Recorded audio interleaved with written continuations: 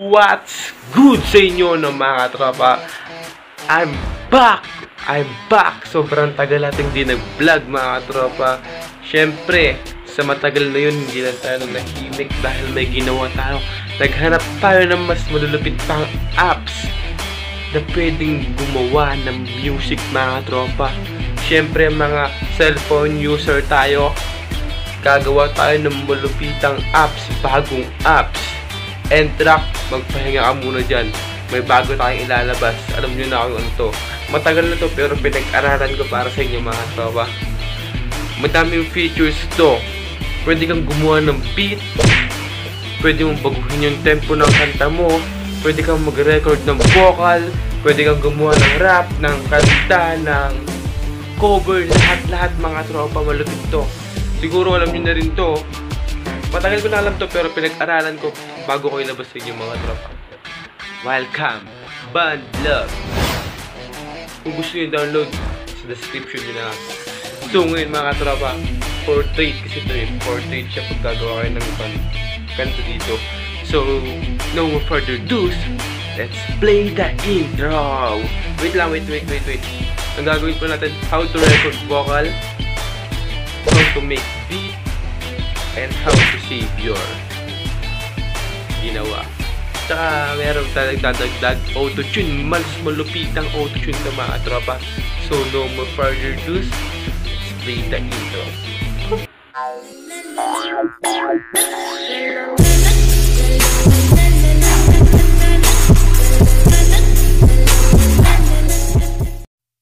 So yun mga katropa, hanapin nyo lang yung band, band lab na in-install na sa cellphone nyo. Dito sa akin. Bago tayo magsimula, pag magre-record tayo ng vocal, kailangan ulit natin ng earphones. Headphones na may mic, pwede. Basta mayroong mic. At ano. Portrait kasi kaya to. Nyo itong to, to, to, to. Gagawa kayo to. Tapos, kung gusto nyo mag-record ng vocal mga tropa at kailangan nyo ng beat, dito na lang siya hanapin. Ito, import track.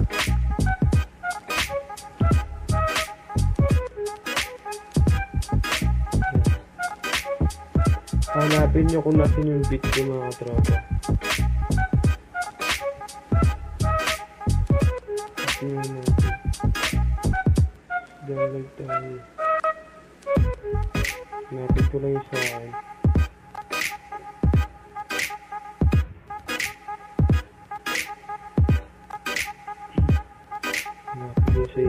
Hanapin yung sa akin. Ito naman kay, kay Evan.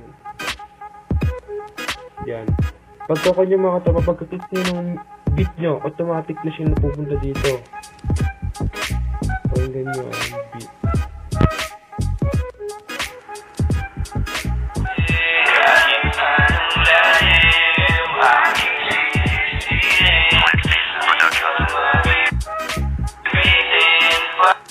Yun yung beat na kukunin ko mga tropa. Yan. So, paano nga ba kung mag-record ng vocal? I-click nyo lang itong parang plus dito. Ito. Yan. Plus, sabi. Tapos, voice mic. Hello. Yan mga tropa. Dito na magre-record kayo ng voice nyo dito kayo magre-record. Siyempre, para mapag-record kayo, click nyo lang itong red na to. Hindi ko pwedeng ipakita sa inyo kasi naka-screen recorder ako eh. Pero pag click nyo yan, double click nyo lang pupunta kayo dun. Sorry. Tingnan natin. Hey. Hindi ka makakapag hindi ako makapag-record kasi naka-screen recorder ako eh. Sige, ito na lang. Record ka. So, ito na, meron na akong kwan dito. Vocal, nakapag-record na ako. Hindi nyo papakita ko sa inyo yung vocal. Ayun na, nakikita nyo kulay red.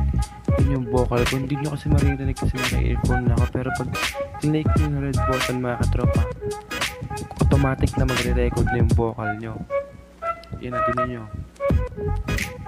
Yan yung mga vocal ko. Tapos susunod yung gagawin mga katropa. I-click nyo yung auto pitch mga katropa. Pamalakasan yan, auto tune. Click nyo lang yung red na yun. Yan. yung rest tapos i-high nyo. Yan naka-auto-tune na yun pag ganyan. Tapos pag yun, nyo kasi marinig talaga eh. Pag play na yun mga katropa kaganda na ng boses nyo. Ito naman yung mga effect mga katropa. Hanapin nyo lang yung kung yung magandang wait lang pakita sa magandang effect.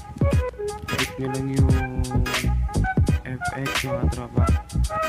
Hindi nyo kasi marinig yung tunog eh. paparinig ko sana kung pwede kasi hindi marinig ito FX sa may hanapin nyo lang yung sige lang sige lang yung yung ito 70s ballad.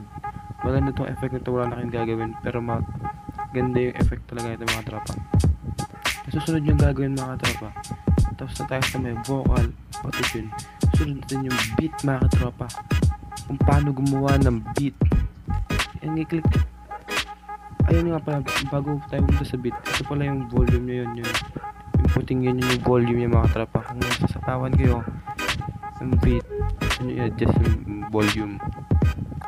So mga katropa ito na yung clinic ko lang umaandar yung tunog na ngayon. Kasama na yung beat sa may vocal. Susunod mga tropa yung beat niya na. Kung gusto nyo dagdagan yung beat mga tropa pindutin nyo lang yung parang plus na yan tropa ayun na yung plus wait lang.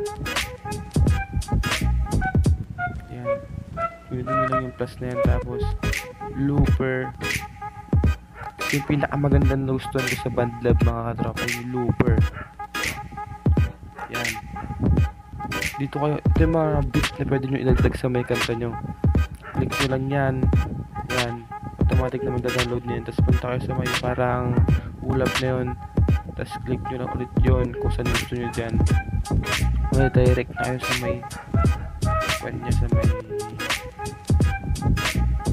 sa may effect pad. Loop pad mga katraba ito tempo. Pwede nyo baguhin yung tempo ng kanta nyo yung bilis yung bagal ng kanta nyo mga katraba yun yung tempo. Tapos key yan ang ganda nga na ito mga katraba hindi talaga kayo masisisi sa may band lab ang ganda.